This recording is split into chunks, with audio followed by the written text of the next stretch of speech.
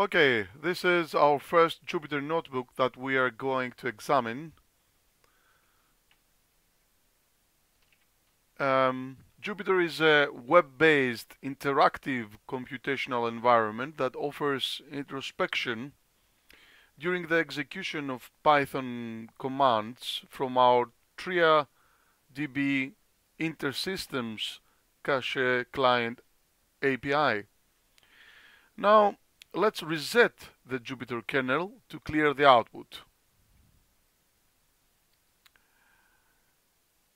In uh, this cell, we create a triad framework object that is connected to a local host InterSystems cache DBMS and an InterSystems uh, cache database uh, by the name TriaDB. This is the InterSystems cache server that is running on the background. We view the global permanent data structure of the database, which is a multidimensional sparse associative array. Back to our Jupyter notebook.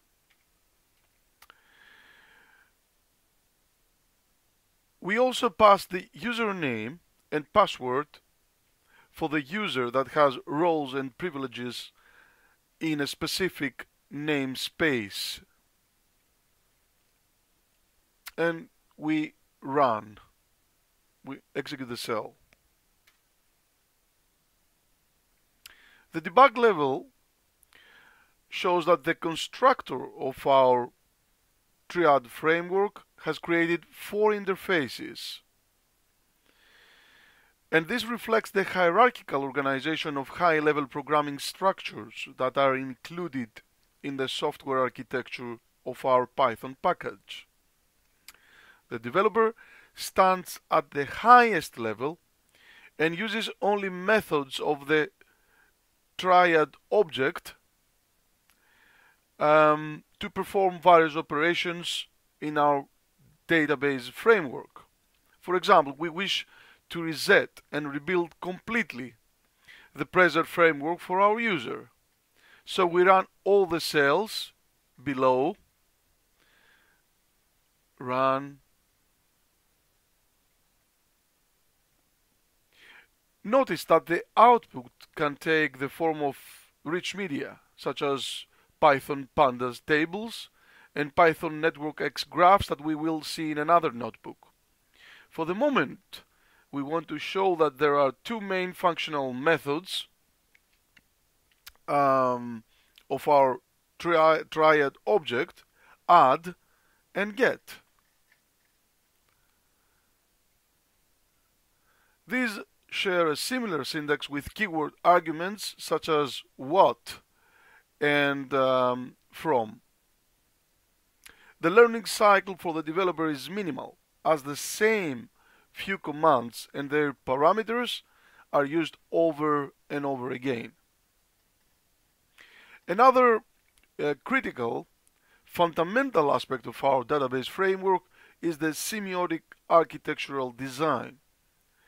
Every structure is represented with a key.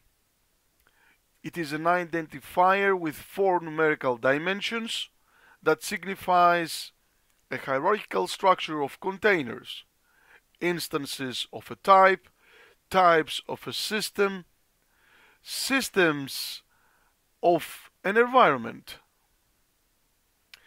That characterizes also TriaDB as a reference database management system. We manage relations and references to single instance data values.